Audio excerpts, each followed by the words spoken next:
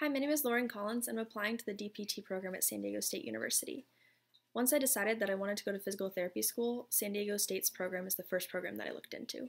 I actually took my anatomy and physiology prerequisites at San Diego State over the past two summers because my school, Pomona College, didn't offer the proper classes. I loved the professors that I had, and I had a really positive experience in both of those classes. I'm San Diego born and raised, and if I'm accepted, San Diego State would be my first choice because I'd really like the opportunity to stay in San Diego for grad school.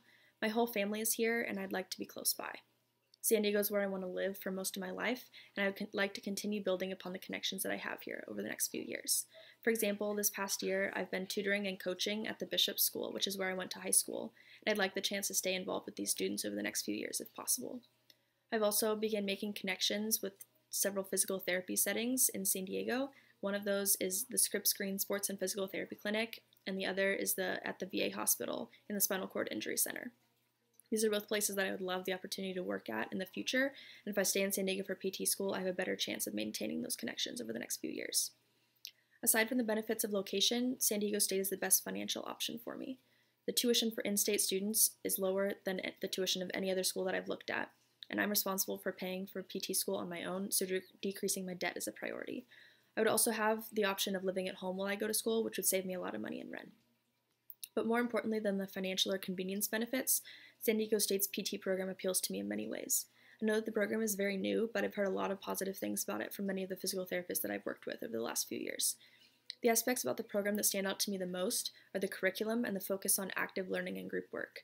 I also like the emphasis on helping the local community and on service projects, and there are several service organizations listed on the website that I would be interested in getting involved with.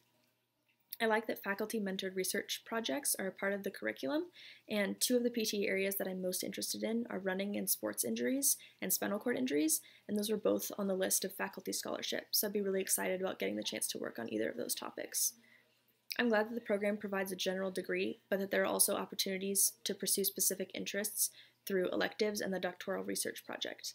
I did a thesis in college and really enjoyed it, so I would be excited about the opportunity to do a doctoral research project over the next three years.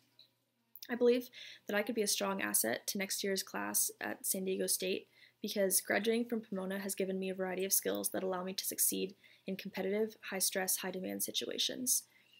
Being a dual sport athlete in college allowed me to perfect my time management skills. Pomona also emphasizes collaboration, and so I'm very comfortable with working in groups.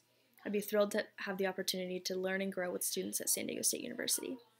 I hope this short video communicated my interest in San Diego State's DPT program. Thank you so much for listening and for considering me for the program.